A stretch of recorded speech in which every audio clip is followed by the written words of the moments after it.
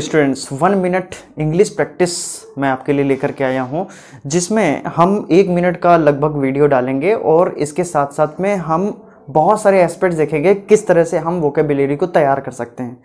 Vocabulary तैयार करने के केवल दो तरीके हैं, एक है प्रैक्टिस और दूसरा है माइंड मैपिंग अगर आप माइंड मैपिंग कर लेते हैं तो वो वर्ड आपको कभी भूलता नहीं है। लेट्स बिगिन एक मैं डेमो दिखा करके दिखाता हूँ आज, ठीक है? तो देखिए, पहला हमारा जो आज का वर्ड है दैट इज़ अब्सटिनेंस तो देखिए, ये वर्ड हमारा लिखा हुआ है अब्सटिनेंस अगर हम इसको देखें तो यहाँ पे देखिए ऐप से लिखा हुआ है है ना? इन लिखा हुआ है, और इसके बाद में से लिखा हुआ है है ना? अब इसको आप देखें तो यहाँ पे ऐप्स लिखा हुआ है इन लिखा हुआ है, से लिखा हुआ है तो अगर ऐप्स आपको बनाना है, अगर आपको ऐप्स बनाना है तो इन से दूर रहना होगा।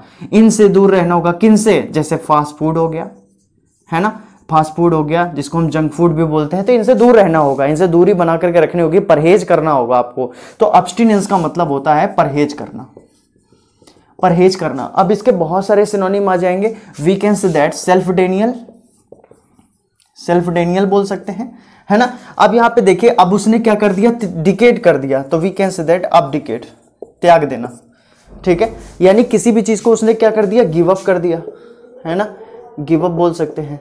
या छोड़ दिया उस चीज़ को so we can say that leave हम लीव बोल सकते हैं।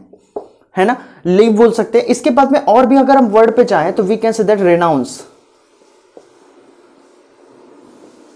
ठीक है? रेनाउंस बोल सकते हैं।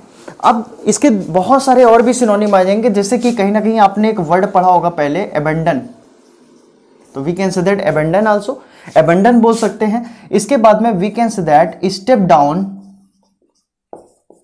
from a position or bar. ठीक है?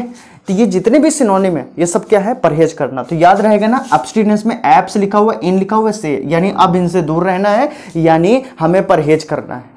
बेटा क्लियर है ना? इसी तरह से मैं बहुत सारे वीडियो लेकर के आऊँगा। शॉर्ट वीडियो होंगे, फिर बाद में लॉन्ग वीडियो भी लाएँगे। चैनल को प्रमोट करिए सब्सक्राइब करिए बिकॉज़ अगर आप इसको चैनल को पुश करते हैं तो आगे मैं और ज़्यादा मेहनत करूँगा आपके लिए, और ज़्यादा वीडियोज़ लेकर के आऊँगा। This is all for today आज के लिए बस इतना ही।